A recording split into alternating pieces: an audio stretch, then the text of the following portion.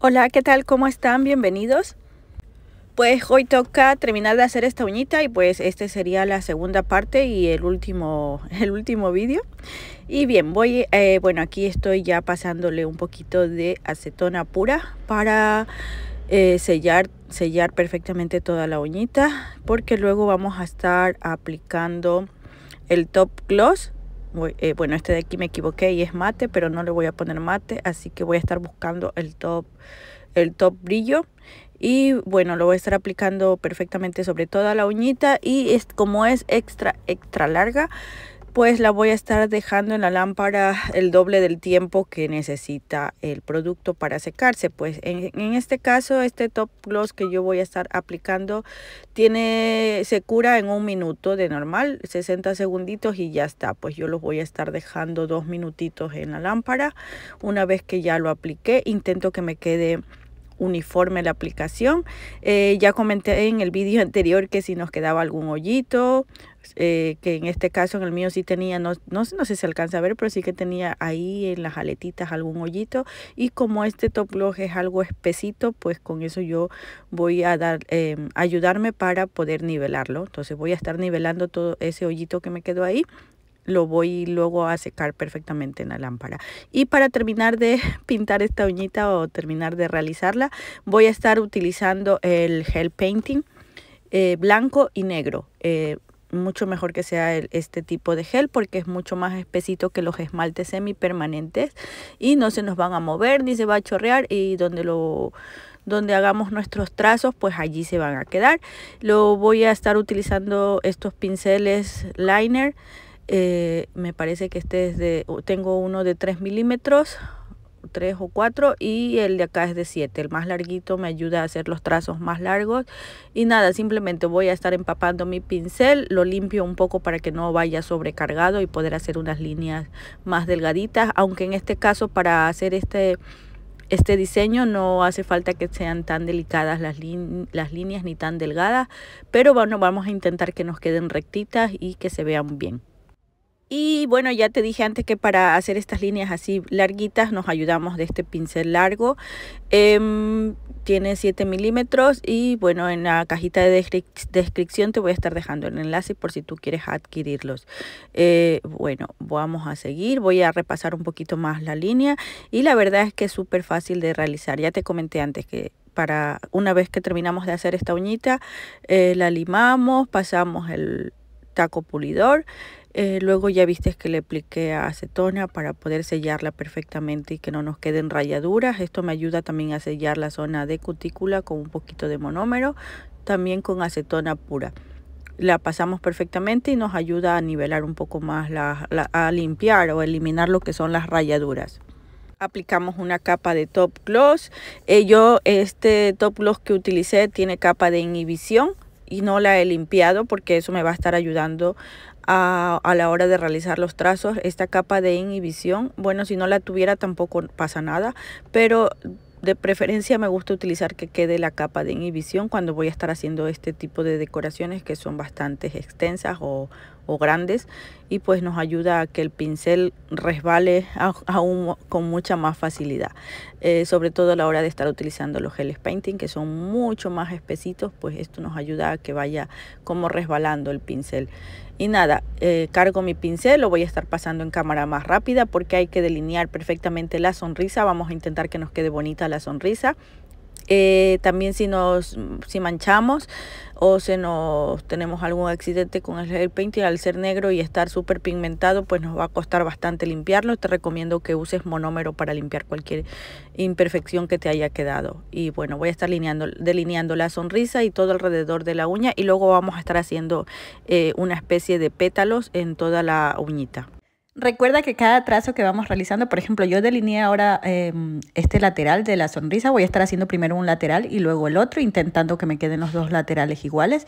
Pero recuerda que cada trazo que tú vayas realizando puedes ir precurando para que no se te vaya a estropear o lo vayas a, a tocar a tocar sin querer, sin antes curarlo o catalizarlo, pues entonces tú vas viendo más o menos si ya lleva cierta cantidad del diseño realizado, lo vas eh, precurando, lo metes unos 30 segunditos, a la lámpara y así ya no se te va a estropear, aunque preferiblemente puedes hacer un lateral y luego dos, minutos a la lámpara y ya. Eh, recuerda que esto es un gel súper pigmentado, el negro, y pues siempre hay que dejarlo el doble de tiempo la lámpara, más que estamos haciendo una uña súper larga. Y bueno, eh, básicamente lo que yo estoy realizando, eh, no me estoy guiando por ningún diseño, no estoy mirando nada, más o menos tengo en mi, en mi mente lo que son las líneas de la mariposita y, lleva así como estas marquitas como una especie de pétalos. Yo les pongo que son una especie de pétalos o óvalos alargados y terminan como en puntita, tú ya lo estás viendo. Y es lo que voy a estar eh, eh, aplicando o realizando al azar en ambos laterales, siempre intentando que los dos laterales me queden eh, iguales. quizás no nos quedan perfectamente iguales, pero vamos a intentar que la, todas los los pétalos o circulitos que estamos realizando nos queden en, los dos laterales igual.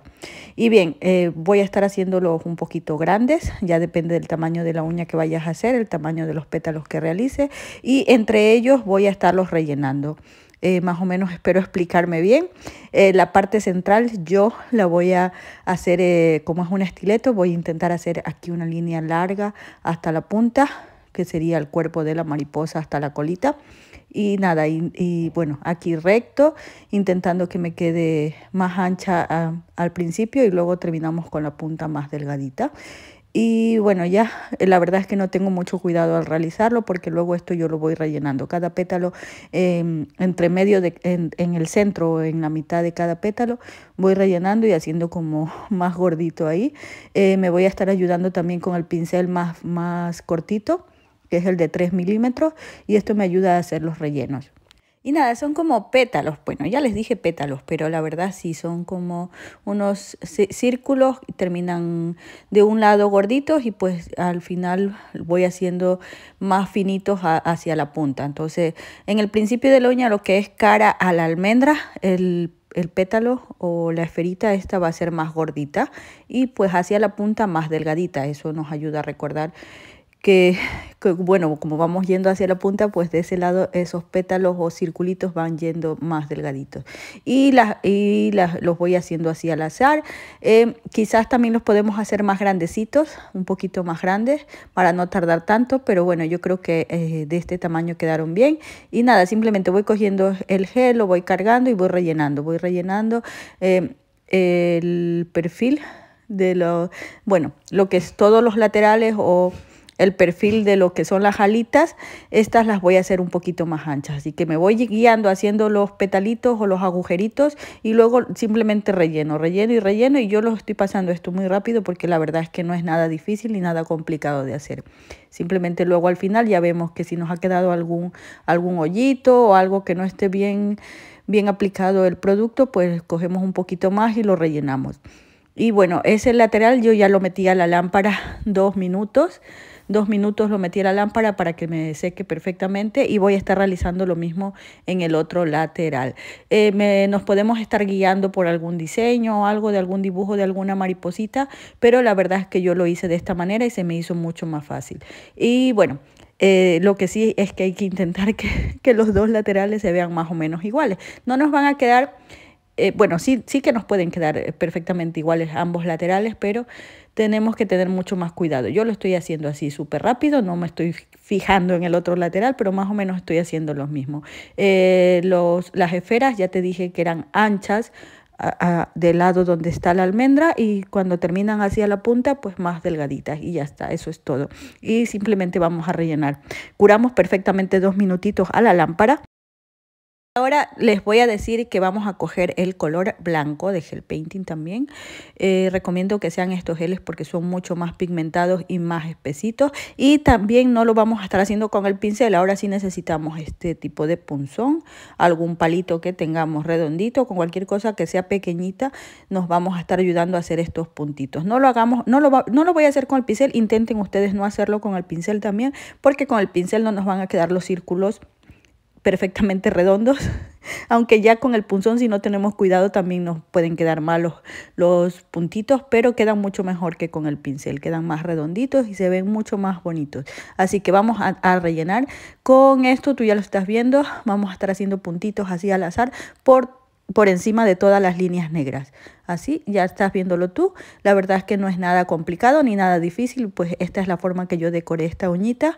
Y pues nada, simplemente puntitos, intentando que nos queden bien, bien redonditos. Para que nos queden bien redonditos y pequeñitos, pues con el lado más delgadito del punzón cogiendo producto, intentando no coger tanto para que no sean tan grandes los hoyitos, porque entre más productos tengamos cargado en el punzón, pues más grande nos va a quedar el circulito. Entonces, entre menos producto, pues más pequeñito y depende de la presión que hagamos. Hacemos más presión, pues más grande y si ponemos así poquito, pues más pequeño. Y listo, eso sería todo. Lo rellenamos todo lo que son las partes negritas, ya a gusto de cada una y a la lámpara. Aquí voy a poner unos cuantos más, ya depende de, no hace falta que todos sean iguales, ahí vamos haciendo más presión o menos presión y así nos quedan eh, circulitos más grandes, más pequeñitos y así vamos a estar rellenando todo lo que son las líneas negras, todas, todo. Eh, quizás estas líneas negras podríamos haberlas hecho un poquito más anchas y los circulitos o las o los pétalos un poquito más grandecitos, también se verían muy bien. En esta ocasión yo los hice así pequeñitos, pero también se verían bien eh, los, los pétalos o estos agujeritos hoyitos un poco más grandes y las líneas más anchas. Y bien, si quieres ver cómo realiza esta uña, pues en el vídeo anterior está eh, la primera parte para realizar esta, esta estructura mariposa. Y pues allí tienes el vídeo para verlo, cómo realizar la estructura. Y bueno, aquí simplemente sería la decoración. Si no te has suscrito también, yo soy Male, te invito a que te suscribas, a que actives la campanita de notificaciones Así YouTube te va a estar avisando cada vez que yo suba un vídeo. Y ya sabes, cualquier duda, cualquier cosa que tú me quieras preguntar, pues con mucho gusto te la estaré contestando apenas yo pueda.